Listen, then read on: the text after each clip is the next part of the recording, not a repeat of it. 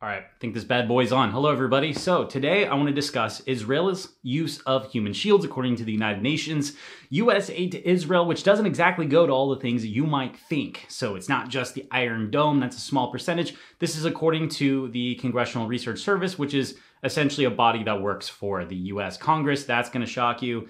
And also Israel's... Um, how do I put this lightly? I don't think there's a, a good light way to discuss this, but essentially Israel's uh, use of sexual assault against Palestinian kids that nobody knows about, and I'm going to get demonetized if this ever does get monetized, which I don't really give a shit about that to be honest with you. But I think that this channel is going to take a hit for discussing sexual assault. If you could donate to Patreon, that'd be great. If you don't, no problem. Appreciate a comment to spread awareness because this boosts the algorithm, blah, blah. You get the point. So, number one, a UN report about the use of human shields by Israel. Normally, when we discuss things like human shields, we always hear about the Palestinians. Oh, look at that, the Palestinians used human shields. What an atrocity. That is an atrocity. But right now, we are going to focus on Israel's use of human shields. Palestinian people who are used as human shields, a lot of times they are also kids. Why am I focused on this? Because it's not talked about often. Should other things like the Palestinian use of Palestinian human shields also be covered? I think they also do with Israeli civilians, but you get my point. Should that be covered as well? Yes. Am I going to focus on it right now? No. Why am I discussing both sides at the moment then? Because people usually say, well, no, they, that side might maybe they do something, but what about this other side? And it's always done all the time. Oh, Biden did something. Well, what about Trump? Oh, Trump did something. What about Biden? We are mature adults, okay? God, I'm gonna have to bleep both those out. We're mature adults. We can say both things are bad at the same time. I will do a video about the Palestinians as well. Right now, we're focused on Israel's use of human shields. Okay, now, normally we have uh, reports by the UN talking about Palestinians. And I'm showing it right now. If you're listening, I'm showing an example on the screen. But the last report that I was able to find on Israel's use of human shields, which by the way, they're still doing this, but the last time the UN actually reported on this was all the way back July 4th, 2013. So the very first picture I want to show you, so this is a this is official record by the United Nations. I'm going to quote this. Quote, the committee expresses deep concern about the continuous use of Palestinian children as human shields and informants. 14 such cases having been reported from January 2010 to March 31st, 2013 only. Now keep in mind it says only. This is only during that period of time, and 14 is what they were able to find. This does not include the total amount that this happens. That's incredibly important to remember. Normally, by the time the United Nations finds evidence of something, it is generally the tip of the spear. Not just with this specifically, but generally speaking, that's the way that it goes. Keep that in mind. Okay, here's another screenshot, another quote. Almost all the soldiers using children as human shields and informants have remained unpunished. Oopsie poopsie. Now there's two examples I want to discuss. And this is going to, this is kind of like a, a, pyramid made from Dante's Inferno or something like that. So we're going to keep getting deeper and deeper into how systemic this problem really is. First things first, one example that I want to show your throw your way. The state party soldiers have used Palestinian children to enter potentially dangerous buildings ahead of them and to stand in front of military vehicles in order to stop throwing of stones against those vehicles. So there's specific reports saying, hey, look at that. They're using them as shields to get Palestinians to stop throwing stones. Gee, what if this happened in Ukraine? Do you think Americans would say, no, Ukrainians don't throw stones against the Russians? Probably not. We'd probably say, well, good for them. But when it's the Palestinians, it's a little bit different. Hmm. I wonder why. Okay, now let's go back into the prosecution. So this is the second example I want to go into, which goes into uh, how people are convicted if they're convicted, etc., etc. Soldiers convicted for having forced at gunpoint a nine year old child to search bags suspected of containing explosives only received a suspended sentence of three months and were demoted. Okay, so that child's gonna be scarred for life. It's great that that child didn't die. Okay, we can all say, hell yeah, kid didn't die. Cool. Scarred for life. Parents, scarred for life. Relatives, scarred for life. Friends, scarred for life. Everybody's destroyed because a nine year old kid was used as a shield. And the only thing that the soldiers got was a suspension and a demotion, no prison sentence, nothing else, not even a fine. You're not going to be able to find their names, by the way. I checked. and it keeps getting worse. So I'm going to show you one more. I'm, I'm going to slow down on all the documents and stuff here just a second, but I just want to amp up the evidence. One more here for you guys. So 2008 to 2009, this according to Human Rights Watch, two Israeli soldiers were found guilty of using a Palestinian boy as a human shield during the 2008 to 2009 offensive. What happened to them? They were given demoted, demotions and they were suspended. So there's a standard procedure that is followed by the Israeli government whenever things like this happen demotion and also a suspended sentence. What does that tell us? That tells us that this happens enough to where they have a standard protocol that is created in order to deal with this. No prison sentence, nothing, even though this is a human rights abuse. Americans, is this something that we can support? Look, even if you're supportive of the Israelis or the Palestinians, we can both agree that is not good for the Israeli government to do this. If you're pro Israel and you hear that the government is doing things like that, you might think to yourself, hmm, maybe it's a good idea that we improve our public image to create more support for the Israeli government. Maybe human shield is not the way to go. Maybe people should actually be prosecuted. Maybe the US should have tied aid conditionality on top of the support, which I'm going to discuss in another video shortly after this. Maybe there should be more conditionality with the aid to investigate things like this. That would be something that would be good to promote. Okay. I love the title of this, by the way. I'm showing a document right now. I love the title of this. This is by the Israeli Embassy. It's a title. It says US, or excuse me, UN condemns the use of human shields. So they're not talking about Israeli use of human shields, by the way. They're talking about Palestinian use of human shields. Israel has widely acknowledged the fact that human shields is a, her- a terrible thing, but yet there's no acknowledgement about their own use of it. Okay, so conclusion. How do I, what, what, what are the final remarks here? Listen, you cannot, as an American, you cannot say that you're for freedom and justice and all these other things if you're still supportive of the Israeli government doing these types of things, all right? we are complicit by default because we publicly support the state of Israel. Now, this isn't a, a political activist speech right now saying that, oh, look, we need to uh, abolish the state of Israel and all these other things. Listen, I'm coming about this from a factual, matter of fact standpoint. If we do not do something about this, if we don't spread awareness about this situation, if we don't bring people's attention towards this situation by sharing videos like this or the sources that I listed in the description box with everything labeled, if we don't share sources and things like this, history will not be kind to us.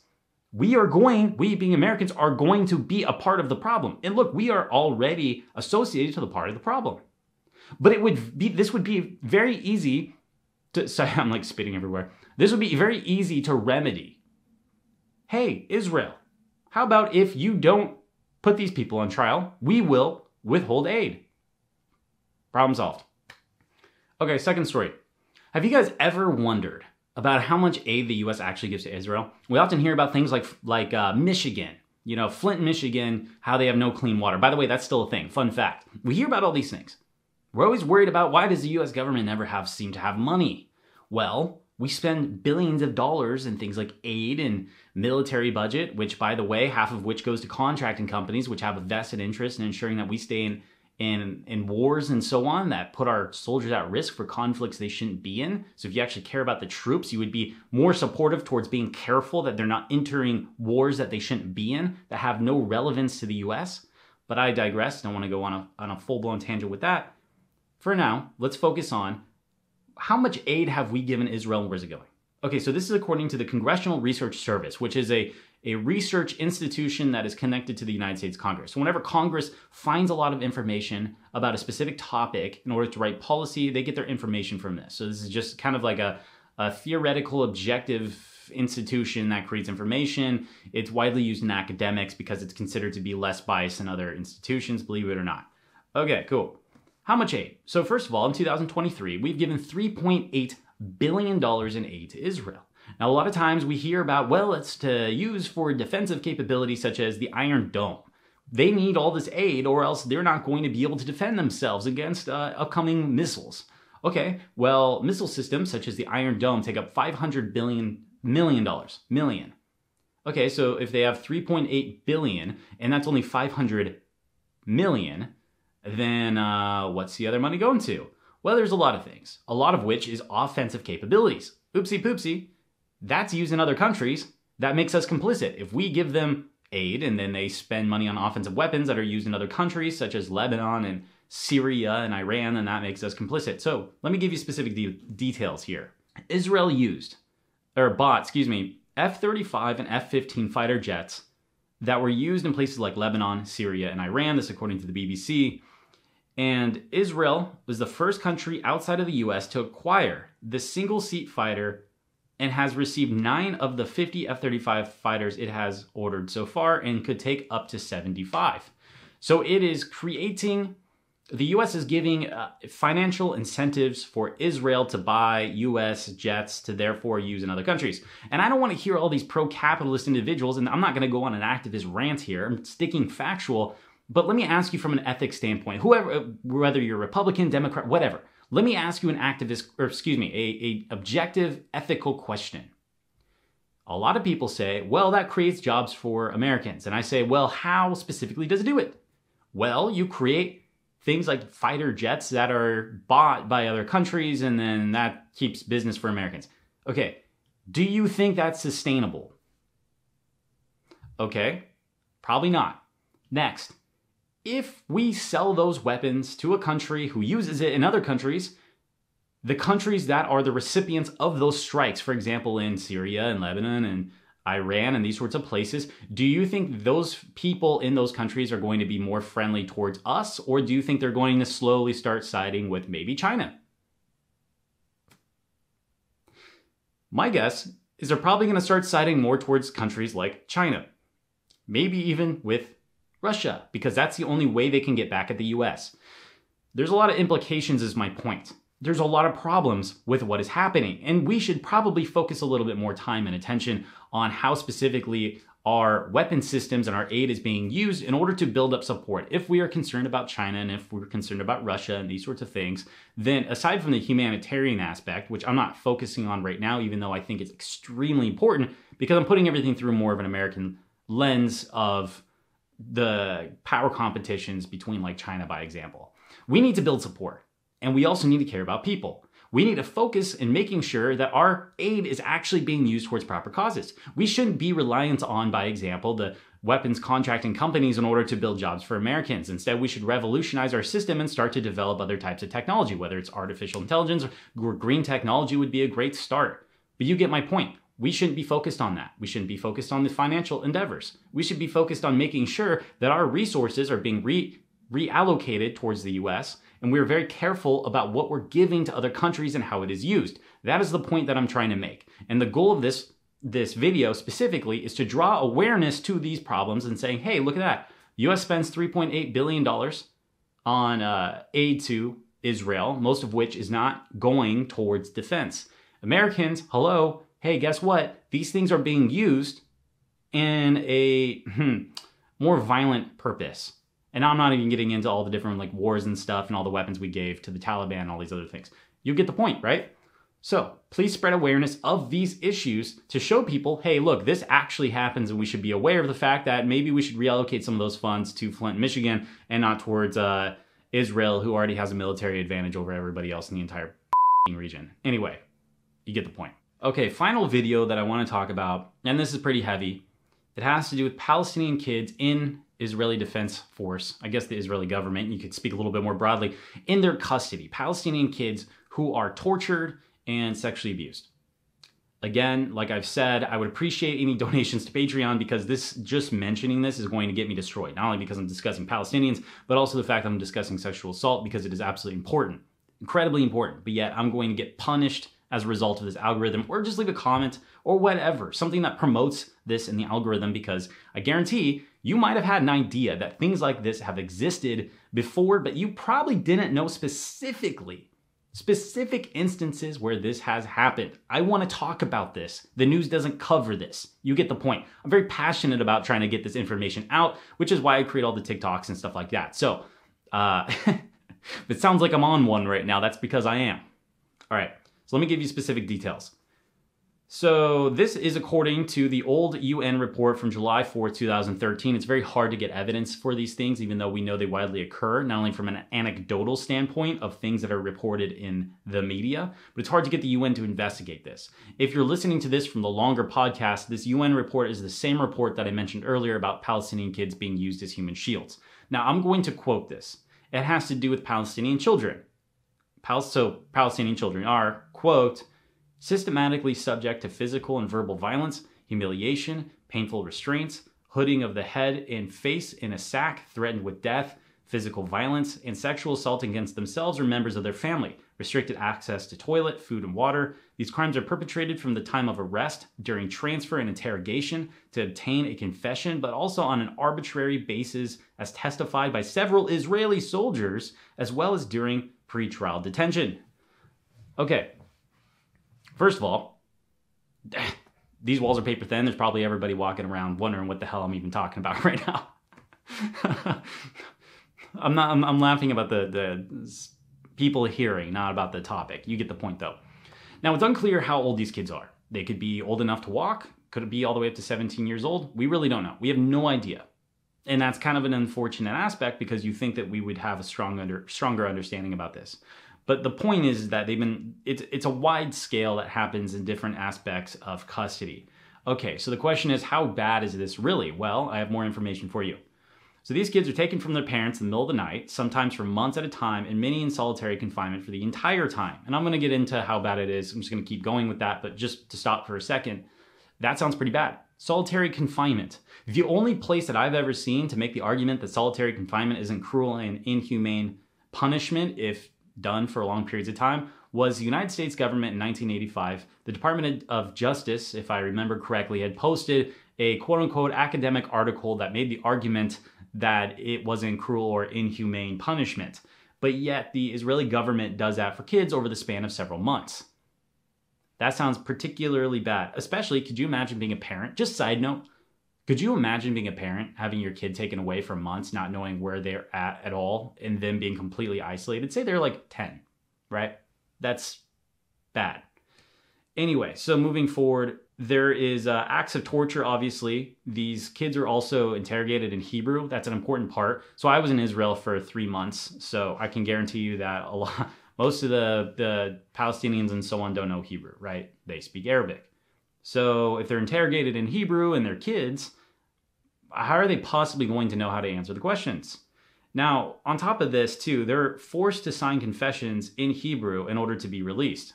They don't read Hebrew, they don't know what's being said. Lawyers also don't have access to Arabic. So if you have a Palestinian lawyer who doesn't really know Hebrew, then how are you going to help? Or if you're an Israeli who knows Hebrew, then to what extent are you considered to be reliable who might actually have their best interests at hand? You get the point here. Now let's talk about the extent to which this issue happens. Are we talking about this happened to five kids or one kid or three kids or uh, two and a half kids? I, I don't know. So here's what it is. Specifically, this is according to Haaretz, which is an Israeli paper, believe it or not.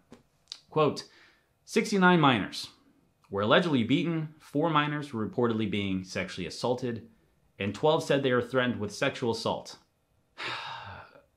there's not there's no details by the way, so if you're if you're wondering any more specifics about the assaults, there's uh no, whether it's Haaretz or whether it's the United Nations, they don't really go into like specific details other than it's assault. So if, don't come at me with the if you're skeptical, like, oh, define sexual assault or anything. Listen, I'm not going to entertain those things right now. You can uh, do your own research and then let me know about that. Now, in addition to this, it's clearly bad enough because in 2011, 19 boys had attempted suicide. I'm going to butcher these names, but in Matan Detention Facility and in the Given Givon Detention Facility. I apologize, no disrespect to uh, people that speak Arabic or Hebrew with the names. I don't know, they're probably Hebrew, but uh, apologize for the pronunciation. But 19 boys attempted suicide. How bad do things have to get for 19 kids Keep in mind, Israel and the Palestinian areas, not a very big area. 19. Attempted. Now, the last thing I'm going to leave off on with this is look, am I saying the Palestinian Authority on the opposite side? Am I saying that they're they're amazing people and etc. Et no, I'm not. Okay, I'm not. They've done a lot of bad things as well. But listen, if us as Americans, if we're focused on upholding thing like important values, and we see things like this, how specifically are we going to go out and make the argument, hi, China, you can't do these things to the different Uyghur Muslims, which I'm probably going to be censored because I said that as well. And I'm not a conspiracy theorist. This is just a matter of fact. And I've worked in media for a fair amount of time. Started the YouTube channel only a few years ago, but I worked in media for much longer than that, almost a decade now. That's going to get censored. But we can't say, hi, that's cruel and inhumane, but yet we support the Israeli government doing all these different things. We pay them. Like I said in a previous video, or unless you're watching the whole podcast, we give them $3.8 billion in 2023. They use children as human shields, which I mentioned in video number one, unless you're watching the whole podcast. And then then we, we, we see situations like this with the different assaults. The funny part about all of this, and I don't mean ha ha funny, I mean funny is in a bit of an irony, is that would you like to know how much the American government has talked about this? Probably zero. You have all these different politicians also coming out. Oh, do things for the kids, anti grooming, anti all these other things, right? Great. What is your stance on Israel? Do you even know about this? I bet they probably don't even know about this. They being congressmen and women, just by example, senators. A lot of times, and I've worked with them before, I can tell you they probably don't know about this. So, what is the point of everything that I'm discussing? Look, we have a responsibility as Americans. We have to understand who are we giving money to and who are we supporting. We are getting into an increasingly volatile state, not only within the US, but internationally. We got to keep ourselves in check, or else someone is going to do it. That is why all of this is important, let alone the, the, the, historical legacy aspect of all of this, let alone everything else, the humanitarian aspect about it. You get the point, okay? You all understand.